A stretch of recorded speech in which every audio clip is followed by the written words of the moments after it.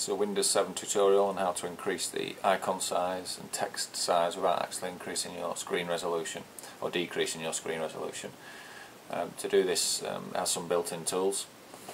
We go down to the start menu and click on the start menu.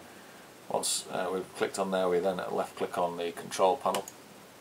Two ways to get to the display settings.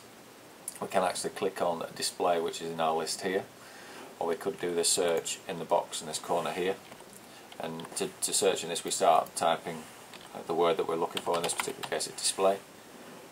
Then we could click on display in this corner here. We then get the options smaller, medium or larger. Currently set on default.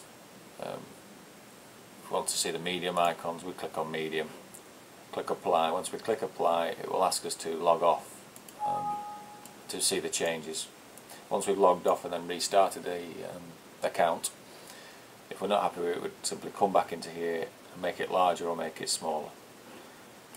Thing to note, if we pick larger, some of the icons possibly might go off the screen and the text might go off the screen and you struggle seeing them. Um, thanks for watching, please uh, subscribe to our channel or watch our other tutorials. Thank you.